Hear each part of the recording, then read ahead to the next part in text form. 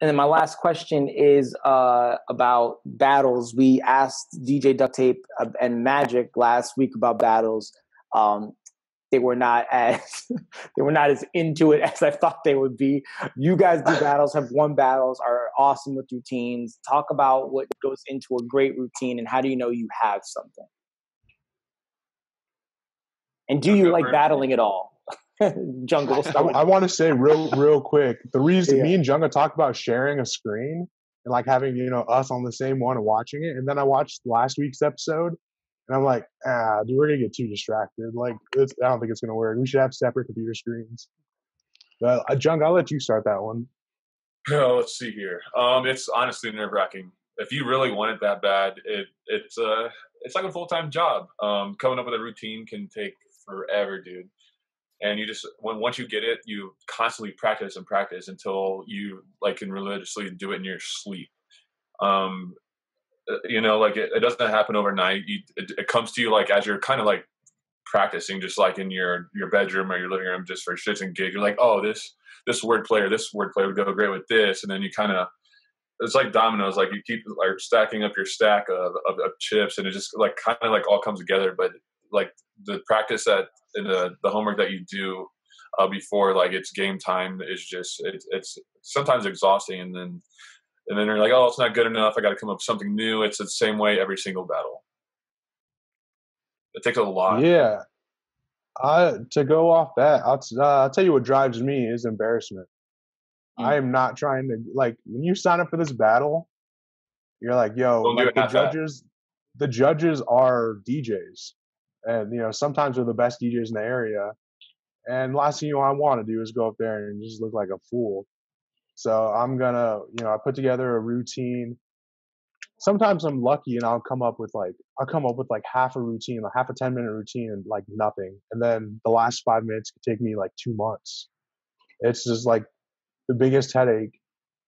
And I think honestly, to make a really good routine, you just have to have fun with it. Like I I placed third place in a, a battle up in Toledo.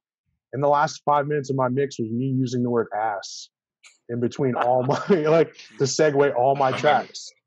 That's I, I thought it'd be I'll tell you what though. I was I was like that you know took you from fourth to third though. I'll tell you that. I was in, I was in second place until a guy from Detroit came last and knocked me down to third. But I just thought it'd be funny. I'm like, hey, wouldn't it be funny if like the last five minutes of my routine was just the play, word play on the word ass and like dicks. And honestly, yeah. I ran out of time. Yeah. Like everybody got a kick out of it. You just have fun with it. And, and we've done so many that we we've seen literally everything. We've seen people who have pre-recorded their sets and yeah. acted like they were DJing it. We've seen oh, people man. that uh, would just play all dubstep the whole night. We we've seen people. I've seen guys that like time uh, that'll just that didn't know how to use. Yeah, they didn't. I've seen guys that didn't know how to use CDJs enter the battle. Yeah, They're like, I don't know how to work this equipment. Like you either either got to use CDJs or turntables. And like, I don't know. So that idea of a battle, in my mind, is doing a routine, a combination of you know, either yeah you can scratch if you want, but at least mashups, live mashups, uh, unique transitions, mm-hmm. um, word plays, and so if it's it, but from what I'm hearing all the time is sometimes people will go in and just try to play like a, a set, like a, a 10 set. or 15 minute set. Recently, yeah. it's been like that literally the last two years. Yeah, but and and and to to kind of defend those people, a lot of these battles, like you know, even if if te- if technicality is a score, it's only like 20 to 30 percent 33 uh, percent of like your overall score yeah. so let's say someone like bombay who's like you know a plus technical master okay. could play a set and be the most technical and that's only 30 you know 25 to 33 percent of his score yeah. so a guy gotcha. who comes in and kills it with the crowd and you know maybe they play the top 10 songs it's mixed nicely and it just they just happen to pick the sing-alongs that the crowd like there's 66 percent you know positive to, uh, you know positive score from there so that's i think that's what what Krup's talking about. It's all about having a good balance in all categories, I think. Yeah, I've seen guys come up there and just scratch like crazy and like yeah, not do good. I've seen guys play nothing but like Britney Spears, just cheese. And like the crowd loved it. But like, yo, you didn't really show us anything. You just showed us you could play really cheesy pop hits. But they got to advance. Right? no, no, they, they did. No, they didn't advance. Oh, okay, gotcha. I've, gotcha. I've never seen. I've never seen people advance. Like when they, I've do seen a lot of real politics cheesy. come into play things too. True. It depends what kind of. It depends what kind of. Where you like, pretty much where you get the battle. If you're gonna do a battle at like a bar, there's a good chance that's gonna fly. If you're doing the battle at like a club, like at Barley, like the stand, they're- they have a little bit of a higher criteria. I, my, The bu- my advice would be know your judges. Like know Oh, kind of yeah. what your judges want. Study up on who they are. I mean, t- ones that I do, it's typically like one bar manager, maybe one or two DJs, and then someone like one of the sponsors. So you're getting you know one person who's going to be looking at your technicality stuff, and then two people who are looking at your um, you know the crowd response or whatever balance that is. So kind of know your judges and what they might be looking for. Uh, but again, you've already practiced your set for Junga. You're talking about like three, four months in advance. Uh, so you go in there. It's like, do you have more multiple sets ready? Do you have things that you can change on the There's fly? usually more than one round too. So Yeah, absolutely. Yeah, that's that's the that's the worst part right there. And then there's like, a tiebreaker I- sometimes with five minutes. It's just it, it goes on and on and on, dude. I remember this year at Barley House, the first round I did, yo, I, I went in there guns blazing and I won. And I was like, cool. I don't have anything else. Like I put everything I had into like one shot. And And it was made during a storm when no one showed up either. Yeah, man. I drove I drove from up there in uh, the middle of like a five inch snowstorm. And like the local some local guys couldn't even make it. Dang.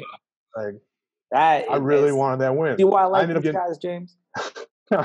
In a snowstorm, going to these battles, they Yeah, don't even dude. like to do. Yo, real quick, shout out to DJ Frankie J because I was going up to Toledo to pick him up, and my car could not handle the snow. And he, you know what he said? He said, "Get in my truck, I'll take you myself." That's awesome. And that that's the homie right there. Nice. guys, where can people find you? Uh, social media handles. Uh, go ahead, Junga. Uh, Twitter at DJ Junga. I need to get better at tweeting. Uh, I have recently, but um, that's kind of where I slack. I never post any gigs or anything on it. I need to because it's kind of like more personal to me, I guess. Um, Interesting. What you start with that one. Facebook at Awesome. Junga. uh, Instagram at Awesome Junga. Um, Snapchat is Jungalaya.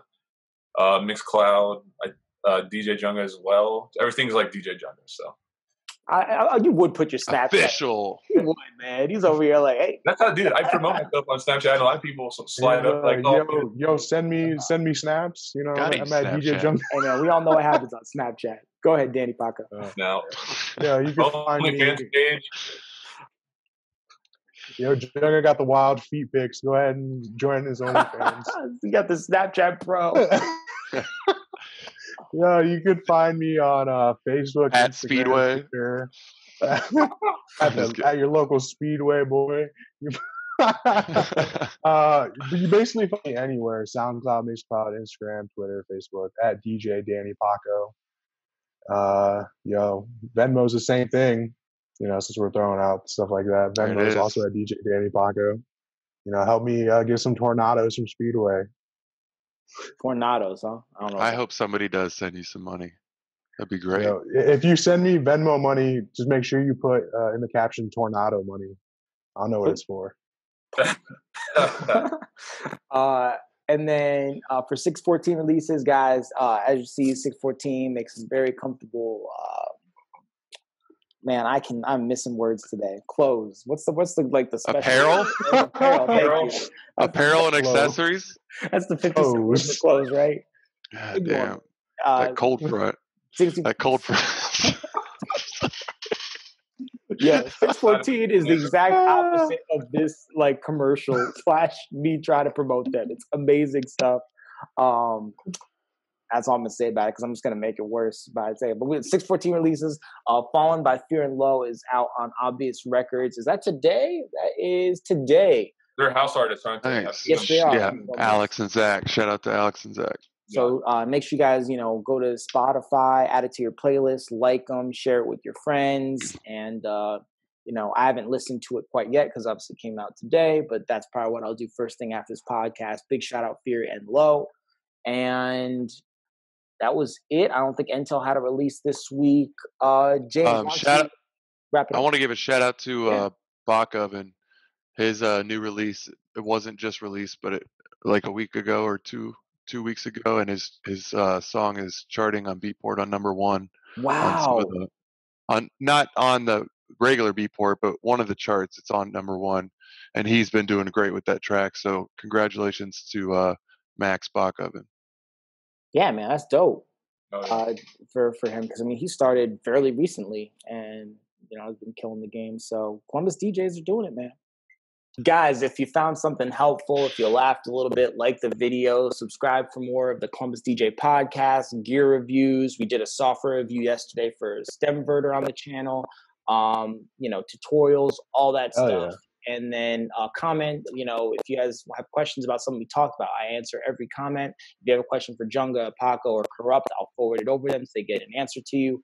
Uh, we're just trying to build a community of awesome DJs where we can ask, you know, uh, high intensity questions and get great responses, just like we had today. So, Junga, Danny Paco, thank you guys so much.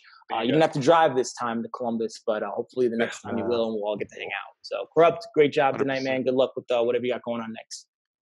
Thank you, guys. Thank you so much, guys. Yeah, thank you. Yeah, thanks for having us. Peace. Yep. Later. Be safe.